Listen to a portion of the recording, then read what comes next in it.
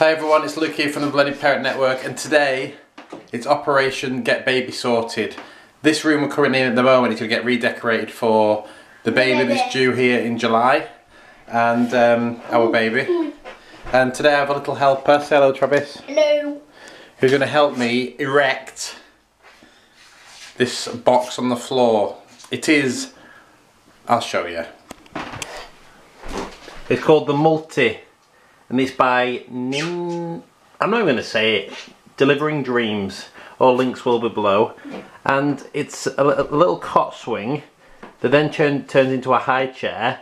And I've seen on the website, I think you can also turn it into like a little storage thing after that. So it's got a free, a multi-use bit of equipment here. So today, me and Travis, Travis and I, are going to make the cot ready for the baby. That's a cool cot. It's good looking, isn't it? Yeah. So here it is, guys. We're going to be making the crib today. So it's the, I need loads of hands for this, the crib. How to build the crib. Then it goes on to how to convert to the high chair. And lastly, um, where is that?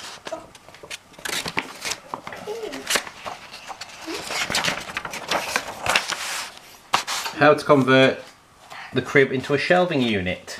And it comes with these boxes as well. So any of you that know me will know that I'm rubbish at DIY, so this will probably take me hours. However, everything's out and ready and I've got my assistant to help me. Um.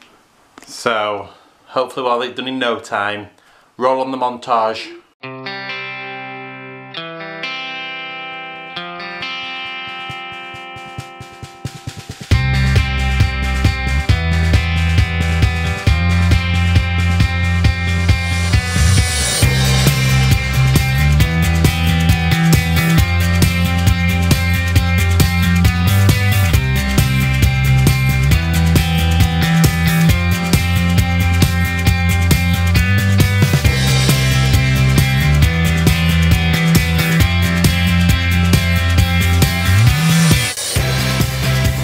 The build is getting real. I'm taking my coat off and I'm in my vest.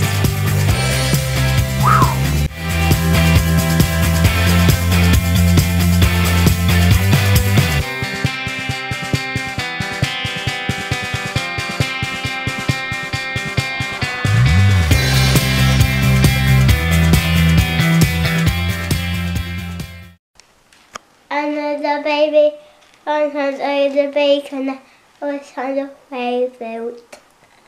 Okay, so Roman's just explaining to you that we're at the next stage now. We're attaching it onto there. Oh, We have been 22 minutes so far. Um, not going too badly, so we're all good. Off baby, off baby. Rocking the baby. Ta-da! So this bit underneath here is pretty cool. Um, try and get a good angle on it. You can have um, the crib inverted into three did. different angles. At this. Uh, yeah, you're helping. That's it, don't scratch it. Thank you. Um, so yeah, you can have it like this straight, or you can have it like more of an angle. Um, but yeah, very happy. You happy, Roman? Yeah. Altogether, 38 minutes. Job done. Very easy to follow instructions. Very easy to follow instructions. Um, C and D, C is to do with the high chair. D is to attach the cabinet bin to the wall. Um, so to make the crib you just use packs A and B. It's all very well posted on the instructions. Um, so yeah, there it is. The instructions were very easy. Came with an Allen key. The only thing you need was the uh, trusty Phillips screwdriver. That's the only bit of kit you actually need. So I want, I want, simples. These bits here, the bits that I didn't use, and they're the high chair bits just there. Um, so they'll be kept in safekeeping with my other bits there. So when baby wants to, you know, move into a high chair. So the idea being it's in a crib for whatever, however long length of time. Then they move into the high chair. Once the high chair's done, you can use this piece of furniture as a storage unit. Genius. Last but not least, are these um, lovely covers that come for the storage unit um, at the third step. Once you've done the crib, the high chair, there's the storage unit, and there the storage unit bits there. These are the straps for the high chair.